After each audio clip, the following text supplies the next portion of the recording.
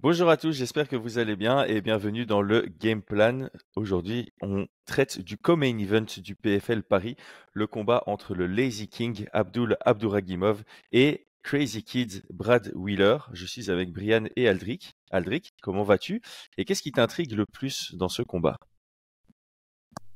Ça va très bien. Hmm, je, oh, curiosité de voir quand même euh, en quatre ans ce qui s'est passé dans la vie de Brad Wheeler et si on va avoir un meilleur, un moins bon ou un Brad euh, à, au niveau qui était le sien euh, lors de son prime qui à mon avis est 2013, 2017, 2018. Moi, c'est aussi un peu le narratif du combat qui m'intrigue le plus, plus que le combat en, lui-même. Brian, comment vas-tu? Et euh, toi, de ton côté, c'est quoi qui t'intrigue le plus dans ce co-main event euh, moi, ça va bien. Et ce qui m'intrigue le plus dans ce co-main event, c'est euh, quelle minute du premier round euh, Abdul va, le battre. non. Euh, non, non, ce qui m'intrigue... Euh... Ouais, ouais, non, c'est vraiment plutôt, plutôt le, le finish. Quel, quel, quel type de finish on va avoir, tu vois. Je, je, je pense pas être trop, trop surpris sur ce combat-là et on pense pas que ça va durer sur la distance. Donc, on avait commencé l'analyse de Doumbé contre Zebo en se demandant si Jordan était mort. Ici, on mmh. va se demander si l'heure de Brad est venue. Euh, Brian, quel est ton pronostat?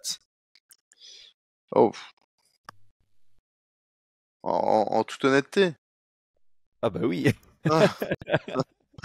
Comme si j'étais pas honnête à chaque fois. Je Oh, je joue, je à peine un, c'est en trois rounds, je joue à peine un, je donnerais même pas 5 à 10% pour Brad Wheeler, euh, Brad Wheeler. Hein. Je joue un 95-5, un 90, je joue à... Et j'espère pas me tromper non plus, donc... Euh, ah. Euh, Abdul, Abdul, énorme favori pour toi. Aldric, de ton côté, quel est ton pronostat? Oui, oui, oui, oui, il faut être honnête. C'est pas un mismatch. Il faut replacer les choses dans le contexte. Ils ont galéré pour trouver un adversaire à Abdul. Euh, moi-même, pour avoir participé aux recherches, j'ai l'impression que je fais un truc de, chasseur de primes, c'est pour avoir participé aux recherches. Mais, mais, mais euh, oui, oui, il y a très peu de gens qui voulaient l'affronter. Est-ce qu'on peut dire que personne voulait affronter Abdul en Europe? Oui, il faut quasiment le dire, quasiment personne. Euh, c'est un mismatch, faut pas se le cacher. Euh, on, a toujours, on doit toujours de, de l'honnêteté euh, à nos auditeurs. Donc, c'est un mm. mismatch. Je pense qu'il y a 2,70 largement meilleurs sur la propre carte euh, du PFL qui sont Pandramini et Chouchan. Euh, même si ce combat se fait pas à 70, hein, il se fait à 77, mais Wheeler, on va quand même parler de lui euh, et parler de, de sa carrière. C'est un 70 kilos gras. pour moi, c'est carrément un 66. Euh, il y avait meilleur sur la carte, mais la carte était déjà faite. Personne n'a voulu l'affronter. Il est sorti de sa retraite pour, à mon avis, des conditions financières intéressantes. Qu'est-ce qu'il faut attendre de ce combat? Juste de voir un petit peu la forme d'Abdul et de voir euh, au bout de combien de minutes il va le claquer par terre et le finir, parce que je, doute quand même qu'il le garde debout. Il n'est pas mauvais, Wheeler. Il a fait son dernier combat contre McGuire, qui n'est pas un peintre du tout, qui a été à l'UFC. Il a montré de belles choses, notamment un beau jab avec des déplacements et tout. C'est pas un peintre, hein, loin de là. Mais euh, en clinch et au sol, il a pas du tout les compétences d'Abdul. C'est pas la même force, c'est pas la même KT. Donc pour nos stats, euh, bien sûr 95-5 parce que un mauvais coup c'est toujours arrivé. Mais on peut parler d'un mismatch, mais c'est pas du tout de la faute ni du ni du clan d'Abdul ni du PFL qui a juste voulu le mettre sur la carte et le maintenir. Ah bah, je suis assez d'accord avec vous. Moi, j'étais entre 80, 90, 10, pardon, 90, 10 et euh, 85, 15. Donc, est-ce que l'heure de Brad est venue? Oui, l'heure. Oui, l'heure de Brad est venue. Je que ça arrive. Je vais, devoir, faire une routine où euh, à chaque début de podcast, il y a une, euh, une petite vanne qui, qui, sort. Bon, un peu de sérieux. Euh, on va quand même décrire Brad Wheeler puisque, comme, comme on le sait, il a plus combattu depuis, depuis 2019. malgré tout, il faut pas le, le sous-estimer. C'est un droitier, boxeur grappleur. il était ceinture marron de Jiu-Jitsu en 2020. Il est passé noir en 2022. Euh, Brian, pour l'anecdote, son dernier combat, euh, très très beau combat comme tu l'as souligné, Aldric, une belle victoire contre un ancien de l'UFC en John Maguire. Euh, toi, tu étais le combat juste après. Euh, tu avais roulé sur Corey Tate, c'était au, Cage Warriors 102 à Londres. Alors j'ai fait un peu mes recherches pour essayer de comprendre pourquoi il a plus combattu depuis 2019. Je pense que c'est assez intéressant pour établir la base de ce podcast. Euh, donc après sa victoire contre John McGuire, euh, il a dit sur les réseaux qu'il avait besoin de, temps avant de revenir en, cage pour revenir sur euh, pour se concentrer plutôt sur d'autres aspects de sa vie. Je spécule, mais je pense que c'est alcoolisme parce que là ça fait depuis 18 mois que chaque mois il poste une photo de lui avec un, rond et un mois dessus en disant Riab. Donc je pense que il était alcoolique. Il a probablement mis du temps aussi à, à prendre sa réhab au sérieux, puisqu'on parle d'arrêter en 2019 et ça fait seulement 18 mois qu'il est sobre.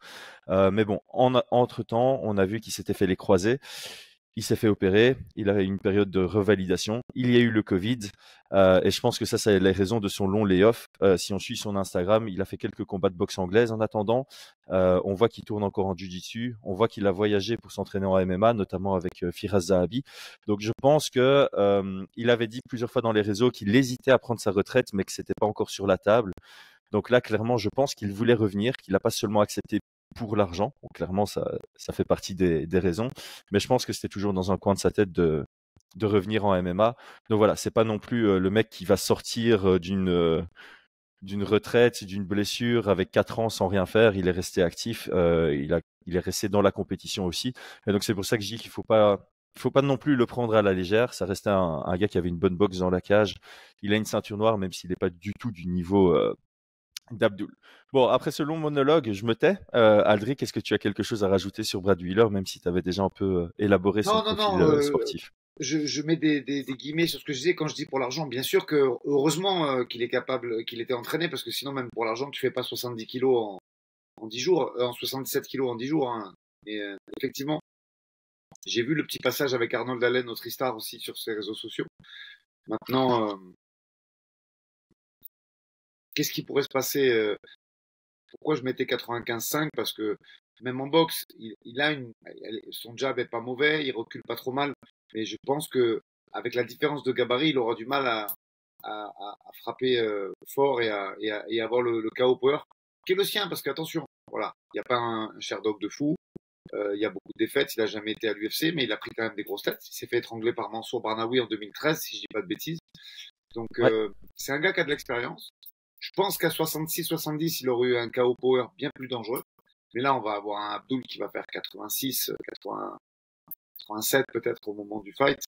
Je pense que dès que ça va coller, euh, pareil, ceinture noire, effectivement, c'est l'accomplissement de 10, 8, 12 belles années de jeu de sous brésilien, mais pareil, en termes de grappling, il y a un gap très très important, hein, parce que là, on a affaire à une ceinture noire compétitrice, et surtout euh, à ce qui se fait de mieux.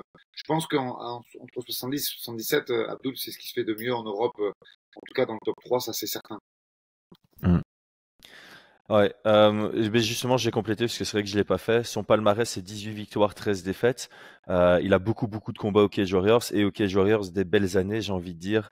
Euh, 10 victoires, 8 défaites au, au Cage Warriors. Donc, il a l'habitude de la haute compétition, mais euh, il a vraiment un palmarès en, en. Et là, c'est pas la haute compétition, c'est la très, très haute compétition qu'il va rencontrer ce samedi. Brian, tu as quelque chose à ajouter sur euh, l'ami Brad Wheeler? Non, je pense que vous avez fait un tour relativement complet de, du, combattant? Non, non. Ok, ok. Bah alors on va passer à, à Abdul.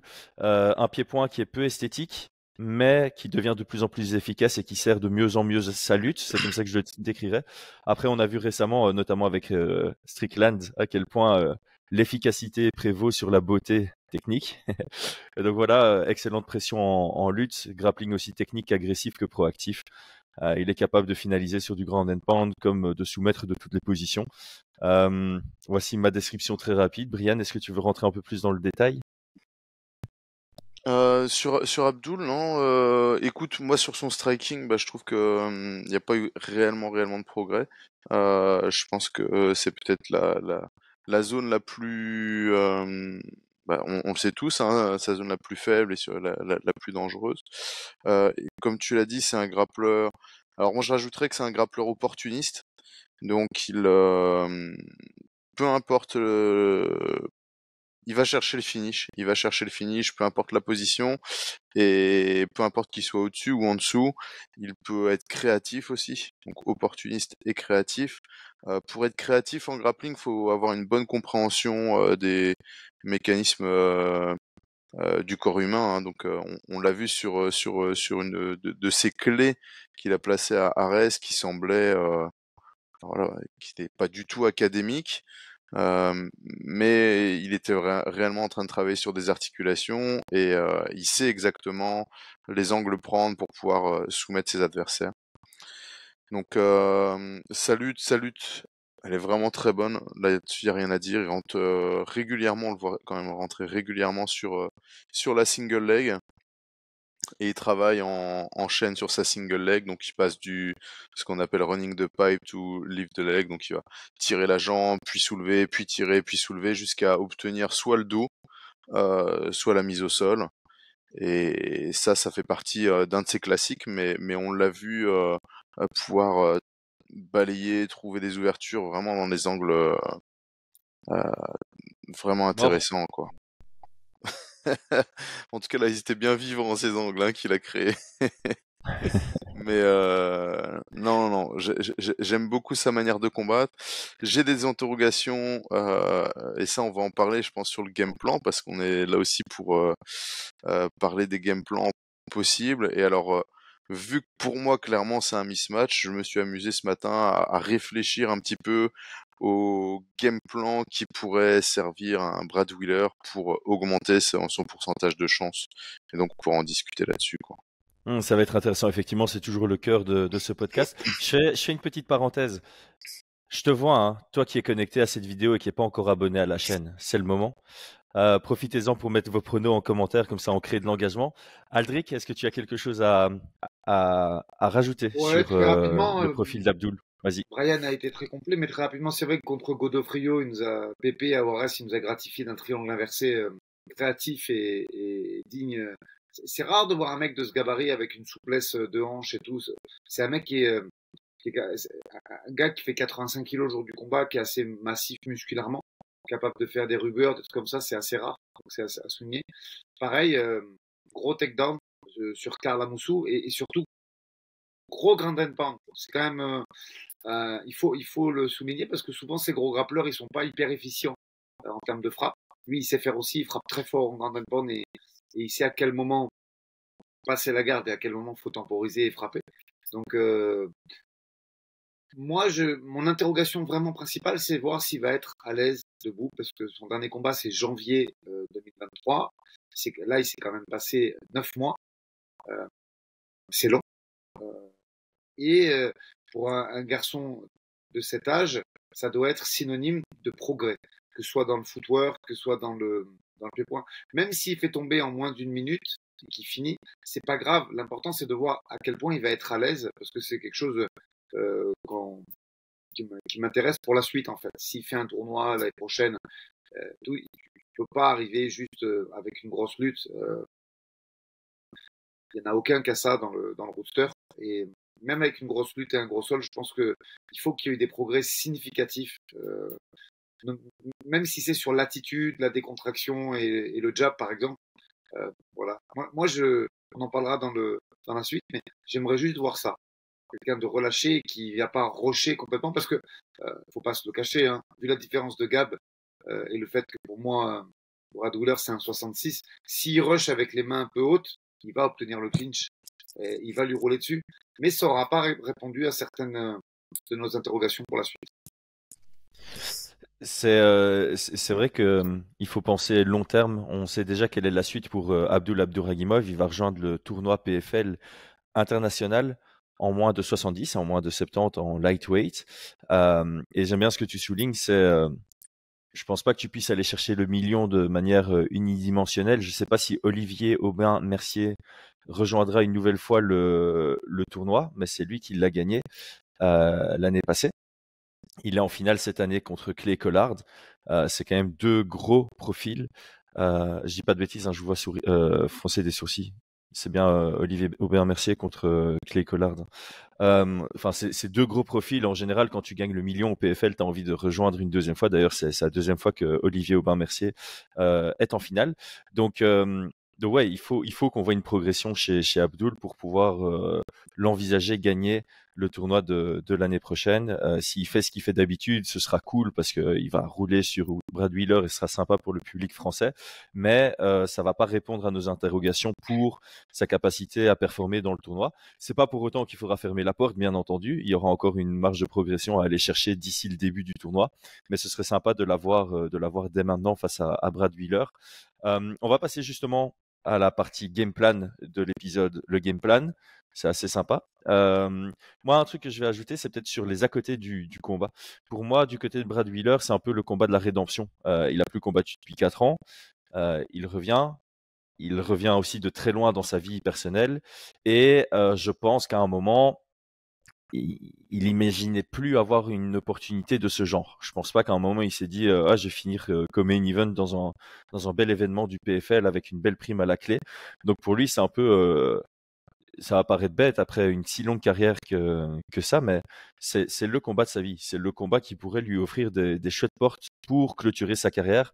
Je pense que maintenant, il doit avoir 34 ou 35 ans, si je dis pas de bêtises. Euh, 33 ou 34 même. Donc, c'est encore relativement jeune. Il y, a, il y a de quoi faire. Donc, avec euh, une belle performance euh, ce samedi, ça pourrait lui offrir des, lui ouvrir des, des belles portes et, euh, et, et lui, l'amener vers une chouette fin de carrière. Donc je pense que euh, il va hein. venir bien préparé et il va venir prêt à prendre des risques. Vas-y. C'est intéressant ce que tu dis parce que moi je vais juste euh, mettre des pointillés et des guillemets sur euh, la présence de nos deux Français au tournoi de l'année prochaine.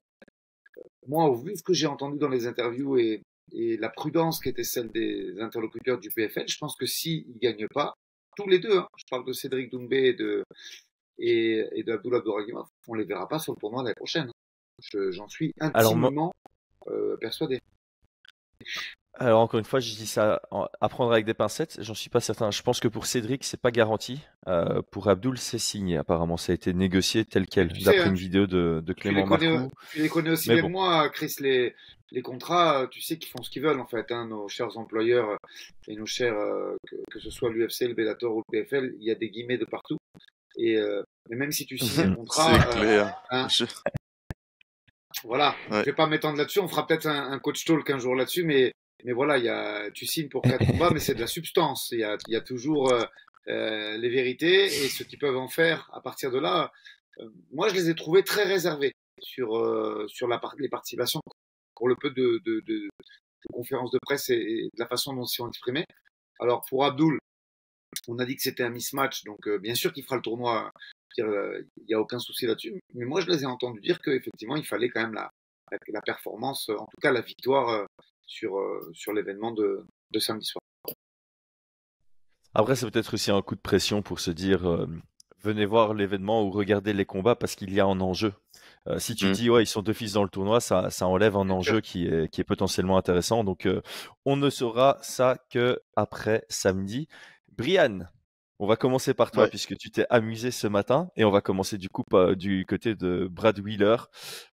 Que peut-il faire pour maximiser ses chances de gagner face à Abdul Abduragimov Alors, euh, donc déjà, on va on va discuter un petit peu de des faiblesses. Je sais pas si le mot est, est juste entre guillemets, des, des axes d'amélioration sur le qu'on qu pourrait utiliser contre Abdul. Moi, j'en vois deux. Je l'ai évoqué, ben, son pied-point. Euh, ce qu'on sait, c'est que ça ne fait pas partie des priorités de, euh, de progression. Je pense pas vis-à-vis -vis de son camp. Euh, on a entendu un Clément qui disait que eux, ils préféraient continuer à progresser dans un domaine, un petit peu euh, en gardant l'exemple de Nurmagomedov. Je pense que c'est une stratégie qui est euh, qui est intéressante, hein, euh, très intéressante. Et donc euh, voilà, en tout cas, Clément, ce qu'il dit, on va pas le transformer en boxeur. Par contre, il doit continuer à devenir un, lutteur et un grappleur excellent pour pour arriver au top. J'aime beaucoup cette stratégie, je la trouve très bien. Cependant, mais comme avec euh, Nurmagomedov, bah, forcément, ça fait partie. On a un domaine de faiblesse dans lequel euh, Brad euh, Brad Wheeler pourrait exploiter. Et on a vu, on a vu que notamment sur deux combats, il pouvait prendre des contres sur ses low kicks. Donc il y avait pas forcément une très bonne gestion de la distance. Donc Abdul euh, lançait des low kicks, notamment le low kick extérieur, où il s'est pris un contre euh, sur son dernier combat et il s'est fait mettre au sol entre guillemets sur le contre. Ça n'a pas connecté. C'était contre Aratik. Euh, ça n'a pas connecté, mais ça aurait pu. Même chose contre Karla Moussou. Moussou qui faisait beaucoup de in and out. Il a eu un peu plus de succès quand il a commencé à, à frapper sur les low kicks d'Abdul. Euh, Abdul a bien bien défendu avec euh, des protections d'épaule, etc. Mais mais euh, je ne pense pas que ça faisait partie de la stratégie de, de Moussou de, rentrer en frappe sur les low kicks. Donc euh, on l'a vu qu'il a commencé à exploiter quand il, a vu qu'il y avait des ouvertures. Donc ça, c'est des, des, petits points de, des, des, des, petites zones que, que, je, que je proposerais entre guillemets à, à Brad Wheeler de, de, chercher les contres et les combinaisons euh, dans, dans le début de Ensuite, le deuxième point que j'ai remarqué, c'est qu'on a un Abdul qui gagne euh, énormément de combats au premier round. On est d'accord là-dessus, je sais même pas combien de victoires il a au premier round, mais c'est abusé. Quoi. Bah, en soi, euh, si t'enlèves son dernier combat contre. Euh, non, non, pourquoi tu vas enlever son dernier, pourquoi tu vas enlever son dernier combat? C'est le cinquième round. C'est le cinquième round. Euh, non, ce que, ce que je veux dire, c'est. Je, je, rejoins, je, je, te rejoins là-dessus. Les, ah. les cinq d'avant, ce sont cinq victoires au premier round. 11 victoires voilà. au premier round. Voilà. 11, 11 victoires. Au total, et 5 sur les 6 derniers. Donc 11 victoires au premier round. Et si ça passe pas le premier round, assis contre Gaël Grimaud, mais ça commence à dater, euh, Ensuite, donc si on regarde vraiment à... dès, dès qu'il arrive au Brave, il a à la décision, dès que ça passe le premier round, une victoire à décision partagée, une défaite au quatrième round. Après, premier, premier, premier, euh, ça passe, ça passe, ça passe.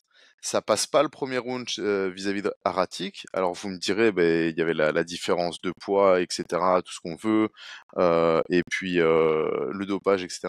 Ça a été très très compliqué une fois que le, premier round est passé. Et donc je pense, quand je regarde les combats d'Abdul, c'est qu'il est très généreux. Et on l'a vu aussi sur, sur le combat de Karla Moussou. Euh, si Karla Moussou avait, sur, euh, avait pris moins de coups à cette fin. En tout cas, il y a une véritable décharge d'énergie à la fin du premier round, qui était, à mon sens, personnellement risqué, qui a payé parce que bah, Karl Moussou n'a pas pu reprendre. Mais on aurait pu imaginer que s'il avait été, euh, s'il avait moins connecté, que ça avait pu reprendre, cette dépense énergétique, elle aurait pu lui coûter ensuite. Donc, voilà, ma théorie, ça serait, euh, Brad, il faut que tu survives au premier round. Et on l'a vu. Bon chance. bon chance, bien évidemment. On l'a vu, mais en tout cas, ça sera peut-être dans, dans, dans, les, dans, dans les prochains trucs. Euh, je lui dirais, si j'étais son coin, essaye de contrer sur, sur tous ses low kicks, sur toutes ses frappes. Survie au premier round, faut qu'il se fatigue au premier round, faut que tu survives absolument. Et euh, deuxième round, ça restera très très compliqué. Hein, je le dis pas, hein, euh, même si pour, ça, ça, ça enchaîne le premier round, je pense que ça, on sera du, sur du 80-20 peut-être. Mmh. Mais on pourrait, euh, je, je, je, je, miserais un peu là-dessus. Je miserais un peu sur euh, le, le, le, combat dans la durée. Il faut, il faut que le combat soit dans la durée. C'est là où le peu de fois où ça a dépassé le premier round, on a vu que ça devenait plus compliqué pour euh, Abdul. Et euh, voilà. Ça, ça serait en tout cas mon game plan euh, pour augmenter. Ben c'est comme ça que tu, dois, que tu, dois, le voir, effectivement. As, T'as un gars qui est ultra dominant dans quasi toutes ses victoires, sauf la dernière où il y a une petite astérisque à côté et euh, t'es obligé d'aller chercher des, petits défauts. Euh, et donc c'est bien souligné qu'il est contrable sur les low kicks et que généralement bah, il finalise au premier round et que quand ça passe le premier round, il y a une baisse de régime qui pourrait s'avérer être exploitable. Et c'est clair que quand tu rentres dans un combat où tu es underdog avec euh, où on te donne 5 ou 10% de chance de gagner, bah tu dois un peu avoir des, des stratégies euh, spéculative parce qu'on te voit mmh, juste mmh, mmh. euh, pas, pas gagner. C'est pas quelque chose où on dit ok tu dois être entreprenant là-dessus, tu dois faire ça, ça, ça et tu vas gagner. C'est euh, ok il faut il faut espérer que cette situation se produise pour que tu puisses l'exploiter. Il faut que tu survives pour voir si peut-être il ralentit dans le deuxième et que tu peux commencer à à, chercher des contres parce que son timing est moins bon, parce que sa vitesse est moins bonne et que tu peux peut-être avoir un, un, genou en contre quand il shoot, ce genre de choses. Euh, voilà, clairement, si on te donne 5 ou 10% de, de chances de gagner, c'est que tu as peut-être 3 ou 4 moments dans le combat où tu peux l'emporter. On ne doit clairement pas gagner à la, à la décision. Alors maintenant, je vais prendre quelque chose que tu as dit et j'ai posé la question à Aldric pour qu'on ait un peu de, de ping-pong. On nous dit de temps en temps aux commentaires que quand on est à 3, Aldric c'était un peu trop. Donc Aldric, ça va être, euh, ça va être ton moment là. J'ai posé une question. Donc Brian vient d'expliquer que voilà, Clément Marcoux a déjà beaucoup communiqué sur le fait que Abdul, ils veulent euh, spécialiser son profil. C'est quelqu'un qu'ils veulent pousser dans le côté un peu plus unidimensionnel, de sorte à ce qu'il soit capable de s'imposer un peu comme Nurmagomedov contre tout le monde et n'importe qui, dans son domaine de prédilection et vont pas spécialement euh, le transformer en boxeur qui irait gagner juste euh, des combats debout. Je pense qu'ils veulent améliorer sa boxe, mais c'est pour encore mieux servir sa lutte. Son défaut, selon Brian, et je le rejoins là-dessus, c'est qu'il est contrable sur les low kicks. Est-ce qu'il ne faudrait pas enlever les low kicks de son arsenal, puisque c'est une arme relativement dangereuse, et si tu veux pas créer un profil boxeur qui va aller finaliser des combats debout, à quoi bon envoyer des low kicks s'ils sont risqués? Pourquoi ne pas juste se concentrer sur des bons jabs, sur des bons directs, sur quelques combinaisons en anglaise avant de, shooter? Est-ce que c'est une arme que tu enlèverais de son arsenal ces low kicks compte tenu de ce qui vient d'être dit? Alors, moi je voudrais édulcorer un petit peu, relater certains propos. Déjà, on prend Khabib. Euh, je vais juste revenir dessus deux secondes. Moi, je trouve qu'il y a eu sur sa carrière à l'UFC d'énormes progrès faits debout, que ce soit sur euh, euh, la gestion des, la responsabilité défensive, que ce soit sur euh, ce qu'il est capable de faire, de comment il tourne, comment il avance. Même si c'était pas très beau, c'est vrai que des fois il marche et tout, mais il avait, je trouve moi, il a énormément progressé euh, euh, dans ce domaine. Et, et, et, pour ceux qui en doutent, regardez son, ses, ses, premiers combats à l'UFC contre Kamal Chalorus, par exemple, et ce qu'il fait après contre Justin Gage. Si c'est le même qui prend Gage en termes de responsabilité défensive, il va à l'hôpital d'Abu Dhabi. Il faut, il faut rester euh, euh, raisonnable sur la performance. Il a énormément progressé debout. Ce qui, pour l'instant, euh, à mon avis, n'est pas le cas d'Abdul. Abdul, c'est un doué qui est très puissant physiquement. Et retenez bien ce terme de puissance physique. Je vais y revenir dans mon analyse après. Euh, et je pense que pour l'instant, il envoie un low kick parce que il qu'il pense que c'est fun. Il n'y a rien de construit. C'est-à-dire que pour le moment, Abdul boxe pour euh, obtenir le clinch, euh, qu'il a très solide d'ailleurs, ce clinch un peu gréco où il vient chercher la ceinture. Euh, et, et, ce qu'il a fait à Karl, qui, qui, est un gros judoka et qui est dur à faire tomber. Tu vois, il l'a fait tomber avec tellement de facilité, malgré le gabarit et, et la réactivité de Karl. Donc, pour l'instant, il fait ça très bien, mais, mais je pense que sa boxe, elle est un peu au feeling, tu vois. Il est à la distance de frappe, il va envoyer une jambe sans la masquer, sans préparer. Pour l'instant, c'est des trucs qui sont un peu euh, euh, pas étranges ni lointains. J'ai pas du tout envie de faire, euh, euh comment dire, de, de, manquer de respect à son travail parce que je sais que c'est un garçon qui travaille beaucoup. Vous connaissez mes liens d'amitié avec Clément Marcoux qui s'occupe de sa prépa. Donc, euh, je pense que c'est un gros bosseur, mais effectivement, que comme Clément l'a dit, le striking n'est pas à l'ordre du jour. Et pourtant, moi, je vais mettre un bémol. Je pense qu'il devrait l'être. Aujourd'hui, le MMA, c'est plus le même MMA qu'en 2010, en 2015 ou, même en 2020. Et, et, le côté unidimensionnel me paraît être euh, en, voie d'extinction, puisque on voit qu'aujourd'hui, euh, et je vais même pas parler d'Adesanya parce que c'est trop euh, flashy, tu vois, c'est trop facile. Je vais même parler de mecs comme Dylan Salvador, tu vois. Euh, Dylan, c'est un, un, monstre en pied-point, c'est ce qui se fait de mieux euh, pour moi euh, en pied-point. Et tu vois que contre votre compatriote, j'ai peur d'écorcher son nom, mais je vais dire Bokaji, c'est bon Bolaji Oki. Bolaji Oki, très simple. Il, man il, manquait cette dimension de lutte qui aurait peut-être pu lui permettre de, de survivre au premier round. Euh, après qu'il ait été touché par, par Bolaki. Donc euh, voilà, je pense que l'unidimensionnel, ça arrive vraiment à, la fin parce qu'aujourd'hui, les mecs sont de plus en plus complets. Tu peux te faire toucher. Il y a un jour où tu peux ne pas être bien. Ça peut arriver à tout le monde. Hein. Euh, à partir de là, moi, je les encourage vraiment beaucoup à s'orienter plus pied-point. Donc pour revenir au low kick, je pense qu'effectivement, il faut des, des systèmes pour les masquer. Il faut des systèmes pour pour le déclencher à un certain moment où tu risques moins, euh, où le contre serait plutôt moins préjudiciable j'ai pris la parole longtemps, donc les gens qui disent que je me tais quand on fait un trio euh, vont peut-être être, euh, rassasiés. Cela étant, je tiens juste à, à m'engager. Brian, il a mis une piste qui me plaît beaucoup, et moi j'ai envie de faire un peu la même chose sur Abdul. Moi, je me suis amusé aussi. Vas-y, vas-y. Euh, et je me suis amusé à regarder où les difficultés, entre guillemets, avaient été les, les, plus importantes sur la carrière d'Abdul, qui a roulé quasiment sur tout le monde, il hein, faut quand même le dire. Grosse, grosse carrière entre le Brave et, et, et le, le Ares. Cela étant, voilà, on va mettre des pistes parce que on a dit en début que c'était mismatch. Maintenant, il faut trouver un petit peu d'intérêt à ce combat, mais il y en a.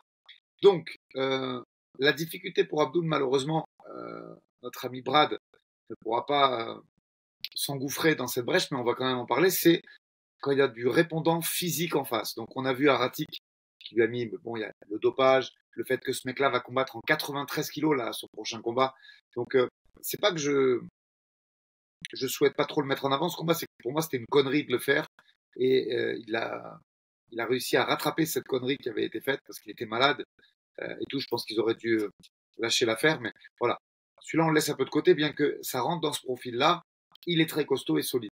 Mais si on va chercher un petit peu, que ce soit Jara, euh, que ce soit Rodrigo Carvalho ou que ce soit Viscardi, Viscardi Andrade, ce sont des gros gabarits. Et, et le fait qu'il y ait de la réponse physique en face, ça n'a pas empêché Abdul de gagner, sauf pour Jara où il s'incline au quatrième, mais ça lui a, ça lui a donné des difficultés et, ça l'a forcé à être plus patient et plus stratégique dans son approche. Donc voilà, je voulais un petit peu euh, signaler ça. Cela étant, en étant vraiment raisonnable, il n'y aura pas. On a vu que Brad Wheeler s'est maintenu en forme, mais tu vois que physiquement, c'est, j'ai envie de dire, c'est presque le gap de, de Brian. Hein. C'est un 61-66 le gars quand même. Il faut pas, il faut, il faut euh, être mais... raisonnable. Il est vraiment pas massif physiquement.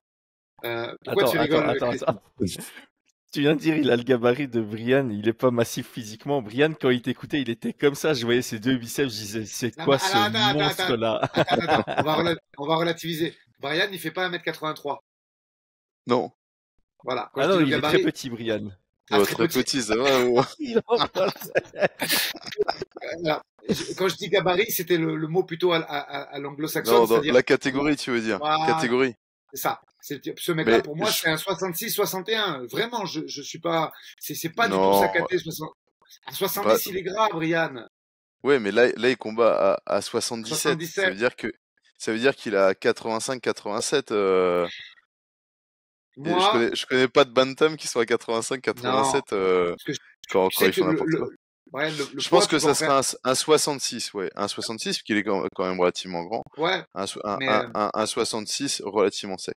Ça, et quand, mm -hmm. quand tu vois Edson Barboza euh, aujourd'hui, tu as vu les photos qui fuitent de lui, les leaks de, de Edson Barboza qui combat à 66, voilà. Je, je, je, c'est juste pour mettre un petit peu des guillemets. On, on, oui, ouais. c'est un 66 euh, ligue européenne, quoi, tu vois. Quand tu vois ce qui se fait à, l'UFC à 66, je suis même pas sûr après... que c'est un 66 UFC, quoi. Mais après, tous les combattants de la MMA sont pas à 5% de masse graisseuse, tu vois. Donc, euh... En tout cas, il a combattu en, en lightweight avant. Je sais pas si c'est une information intéressante. Pour moi, ouais, pour moi, c'est un gars qui a lightweight parce qu'il a, il ouais. a 15-20% de masse graisseuse, qui, s'il faisait une vraie euh, diète est beaucoup plus sérieux pourrait descendre en 66. Non, non, mais on est d'accord, on est d'accord. Ouais. On est d'accord, et, et, et c'est pour ça que je voulais mettre en avant ce. Je pense que le physique, même si le game plan est mais intéressant. Par contre, ouais. par contre, en termes de force, je pense qu'à 85-87, je pense que je suis plus fort que lui. J'ai aucun doute là-dessus. Et, et, ça, à mon avis, euh, ça va être un gros problème. Même si effectivement, mm. moi je le vois faire un peu ce qu'il a fait contre Maguire. Parce que euh, John Maguire, euh, c'est pas Abdul, bien évidemment, mais c'est quand même un garçon qui à l'UFC a réussi à gagner grâce à des liaisons de boussole euh, intéressantes. C'est un bon grappleur. Mm. Et euh, je pense que malgré le fait qu'ils étaient black belt tous les deux lors de leur affrontement en 2019, ou peut-être marron contre noir euh, en 2019, euh, Maguire, le, le, game plan, c'était quand même de l'amener au sol, chose qu'il a quand même fait à la fin du premier round.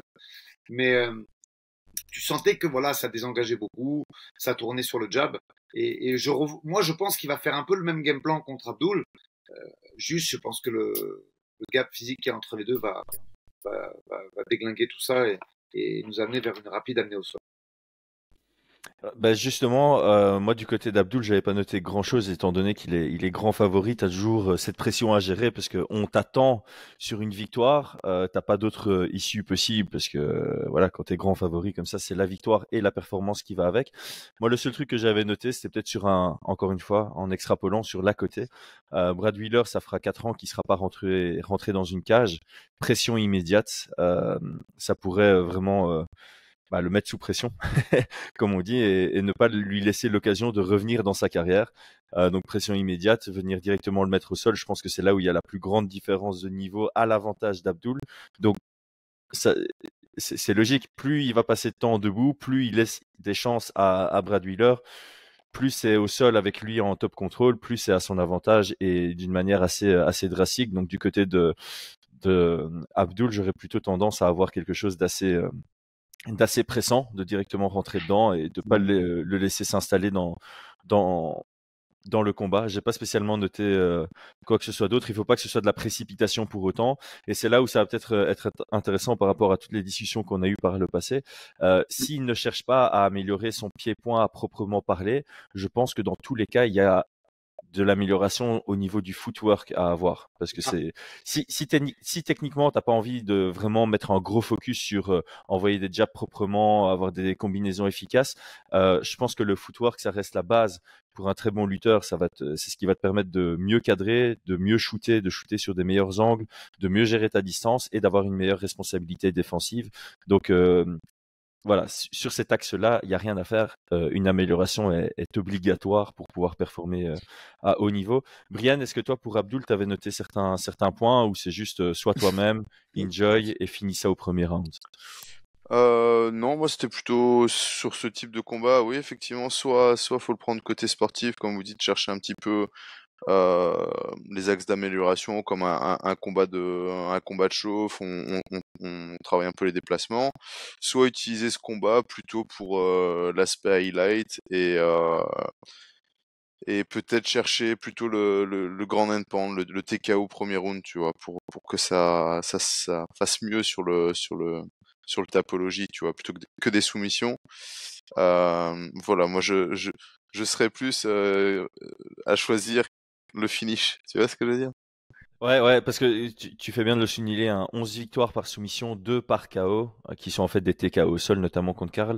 Ouais. Euh, c'est pas mal de vouloir rechercher à maximiser ce nombre de, de KO sur ta police. Je pense, et puis peut-être peut-être un, un, un grand endpoint, un TKO un peu moins agressif qu'il avait fait euh, contre Karl, mais euh, plus percutant. Il aura pas le ouais. au coude, hein, on le rappelle, mais j'aimerais le voir, je sais pas, arriver, comme tu dis, mettre de la pression, prendre cette jambe, jeter au sol, euh, passer, smasher et, taper, mais de manière très précise, quoi. Pa, pa, pa, pa, pa, bien économique, c'est fini, on rentre et puis euh, il se prépare pour la suite, tu vois. Voilà un peu le les attentes. Voilà. Et du côté euh, Aldric, tu avais euh, un élément particulier sur la, la stratégie ou étant donné que c'est grand favori comme ça, c'est plus sur le focus. Euh... Un peu ce que Brian vient de dire. Moi, j'aimerais juste le voir euh, poser. C'est-à-dire que même s'il fait un takedown au bout de 30 secondes ou une minute, euh, quelque chose de, de, bien posé, avec les mains bien hautes, avec des feintes, avec une grosse responsabilité défensive, tu vois. On sait que Wheeler, c'est un bon jab. Et la, la, bonne gestion de ce jab, il chasse ou il décale, boum, et quand il a décidé, il, il rentre, il amène au sol et, et il finit sur du run and pop quoi qu'il arrive, ça va se passer comme ça. C'est juste que voilà, moi j'aimerais voir, j'aimerais pas le voir se prendre une droite, tu vois, par exemple, parce que ça et, faire tomber derrière et, et, et qu'il fa, fasse le jeu comme ça, c'est tout. C'est quoi qu'il arrive, ça va se passer comme ça. Euh, mais euh, j'aimerais voir un tout petit peu plus de manière dans la façon de, de, de préparer cet amené au sol. Ouais, je pense que c'est intéressant même pour le pour le futur mmh. euh, qu'il casse un petit peu toutes habi euh, les habitudes qu'il peut avoir en, en, entrée de combat pour ne pas donner de de billes à, à ses futurs adversaires quoi. Mmh. Ouais. Donc euh, un côté un peu mesuré mais euh, mais actif. Actif et puis brouiller un peu les pistes. Ouais. Ouais, c'est ça, intégration des feintes, je pense que ça peut être très intéressant en début de combat, rentrer pour mettre la pression, mais avec une certaine mesure de la distance, changer de niveau, voir les réactions de son adversaire. Ouais, non. des feintes en pied-point pour euh, lutter, ce genre de quand truc. Je disais, quand je disais brouiller les pistes, c'est plutôt euh, euh, brouiller les pistes pour ses futurs adversaires, qu'il n'ait pas de, ah! de pattern à, à, lire et à se dire, ok, quand il arrive, il fait toujours un low kick ou il fait toujours euh, un mmh. déplacement sur la gauche, sur la droite. Je vais exploiter ça parce que sinon ça risque de chauffer, etc. Tu ou dans ses descentes, c'est plutôt ça qui commence par exemple en gaucher, un truc un peu karaté ou j'en sais rien, quoi, tu vois, des trucs comme ça. Ouais, c'est ça, le, le rendre difficile à lire pour son adversaire euh, suivant. suivant. Bah, je pense qu'on va finir là-dessus, puisque en termes mmh. de pronostics et préférences, je pense qu'on on les a tous euh, donnés en soi euh, au cours de la discussion. Je pense qu'on voit tous Abdul gagner. On a tous démontré qu'on voulait le voir gagner avec euh, des bribes d'amélioration sur son domaine, sa zone d'effort, le, le pied-point et ou les déplacements. Et on aimerait le voir s'imposer au, au, premier round, parce que malheureusement pour lui, j'ai envie de dire, c'est ça qui est attendu au vu du changement d'adversaire. C'est vrai qu'on l'a pas notifié dans le, podcast, mais je pense que tout le monde est au courant. Il était supposé affronter euh, Kemuel Otoni, euh, qui était un, bien plus gros challenge. Le combat s'est annulé à deux semaines et demie de l'événement. Donc le PFL a dû trouver un, remplaçant un peu de dernière minute. C'est tombé sur Brad Wheeler. Donc c'est évidemment hors du contrôle d'Abdul de, de, tomber sur un nouvel adversaire. Ça change aussi la préparation. Tu te prépares pas de la même manière pour Kemuel que pour euh, euh, Wheeler. Mais euh, en soi, Abdul, c'est quelqu'un qui impose son jeu. Donc à la limite, peu importe l'adversaire, on, on, on, sait ce qu'il vise dans le combat. Brian, merci pour ton temps. Bonne journée à toi. Merci, merci Chris, merci Aldric pour, euh, pour euh, cet échange. Merci à tous. Aldric, je vois qu'en termes de temps de parole, tu es pile poil à 33%, donc c'est parfait. Tu peux, euh, non, je déconne, comme si j'avais la stat, mais merci à toi. je te souhaite une belle journée. Merci à vous. Merci à tous d'avoir suivi jusque maintenant. On n'oublie pas, on s'abonne, on like, on commente et on partage sur les réseaux. Ça fait toujours plaisir. À très bientôt. C'était Chris, Brian et Aldric dans le Game Plan sur Fight Minds.